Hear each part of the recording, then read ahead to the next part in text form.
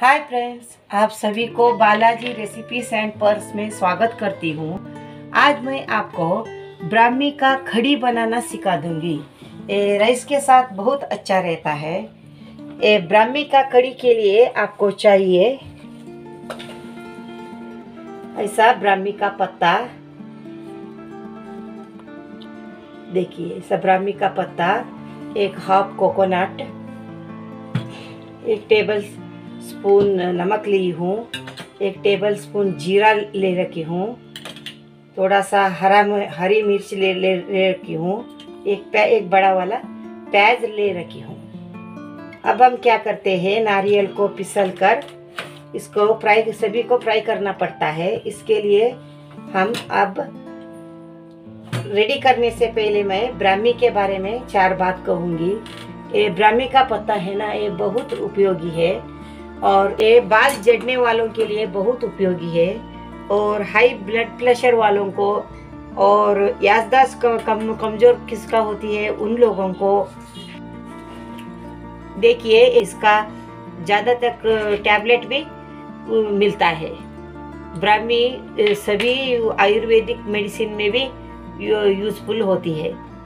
Heart dishes का tablet में और सभी में ब्राह्मी को यूज़ किया जाता है। देखिए, अब मैं इसका कड़ी बनाना आपको सिखा दूँगी।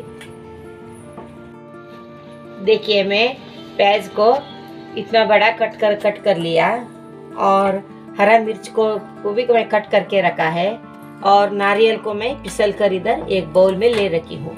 अब हम इसको फ्राई करेंगे। देखिए, पहले हम गैस ऑन करके इसमें थोड़ा सा ऑयल डाल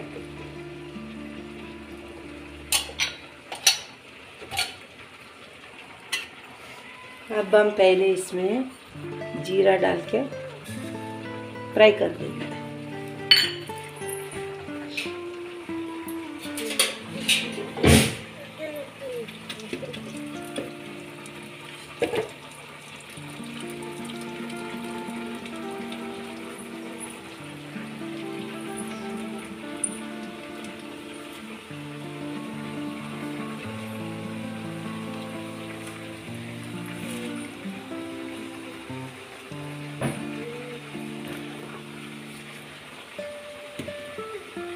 बाद में हम ऑनियन डालते हैं।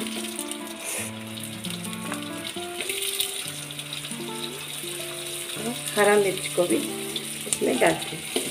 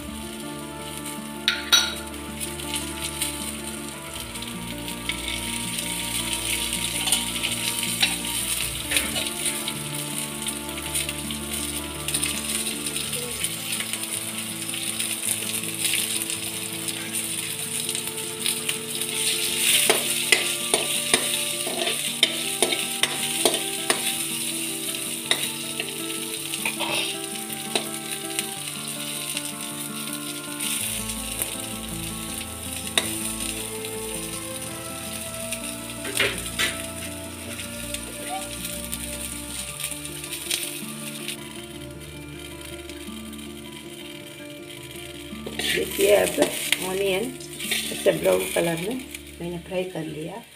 बाद में इसमें ब्राह्मी डाल रही हूँ। ऑलरेडी दो बार इसे धो कर रखी हूँ।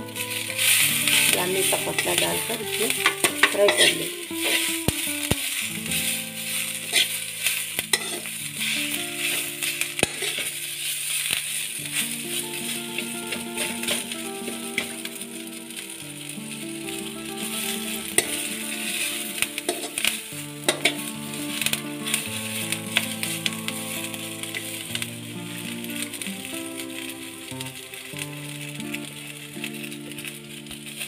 ये अब ब्राह्मी पूरी तरह से फ्राई हो गई है और देखिए अब ब्राह्मी पूरी तरह से फ्राई हो गई है। ये देखिए।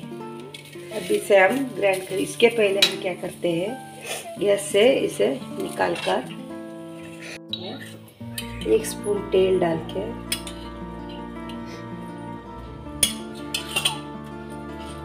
इसमें थोड़ा मस्टर्ड सीड डाल के उसको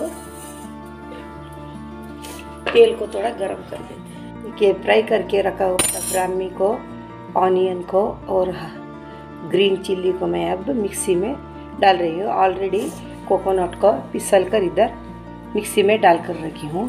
ये सबको इसके अंदर डालना है। बाद में मैं थोड़ा सा इमली डाल रही हूँ और इतना सा एक, एक टेबल स्पून नमक डाल रही हूँ। अब हम इसे ग्राइंड कर देंगे।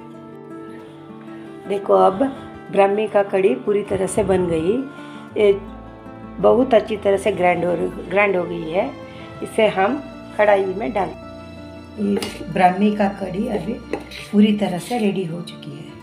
ये राइस के साथ बहुत अच्छा रहता है।